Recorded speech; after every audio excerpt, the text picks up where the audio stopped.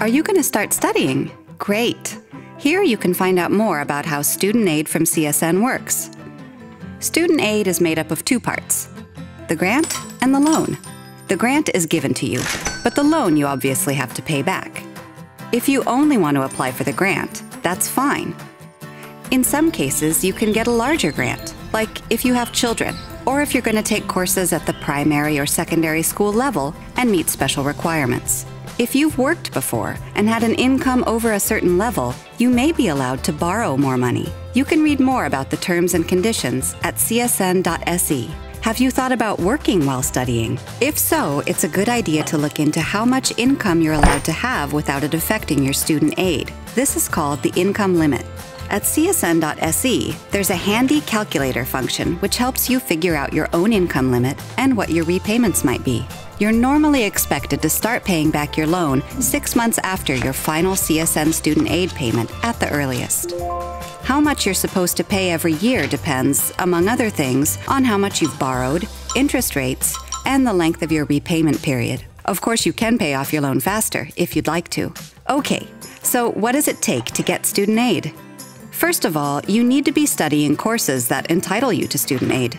You'll also need to study at least 50% of full time for at least three weeks. If you've previously received student aid for other courses, you'll need to have completed those courses for credit. At csn.se, you can read more about terms and conditions, and also find out what rules apply if you're not a Swedish citizen.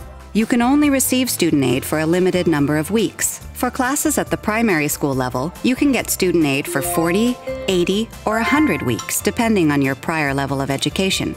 For secondary school level, you can get 80 weeks. If you don't have any earlier secondary school education, you can get 40 more weeks. If you're studying at post secondary level, like at a college or university, you can get student aid for 240 weeks. Are you almost ready to apply? You can do that at csn.se under Mina sidor. Make sure you have an electronic identification, such as a mobile bank ID, which will make things easier, and you'll receive your decision sooner. Student aid is paid out in advance, usually for four weeks at a time. In order to get your first payment, you'll have to register for your courses and verify that you have begun your studies. And don't forget to register your bank account and clearing number with Swedbank so you can have the money deposited directly into your account. They're the ones who take care of payments from CSN. Sometimes things don't turn out the way you thought they would when you applied for student aid. Maybe you've earned fewer credits than you thought or you've had to discontinue your studies. Remember to notify CSN of any changes so we can make sure your payments are correct. If you become ill or need to be home to care for a child, it's important that you let us know right away. Why, you might be wondering? Well, that's so you can make use of CSN security rules. Among other things, this means that you'll be able to keep your student aid without the weeks counting as part of your studies.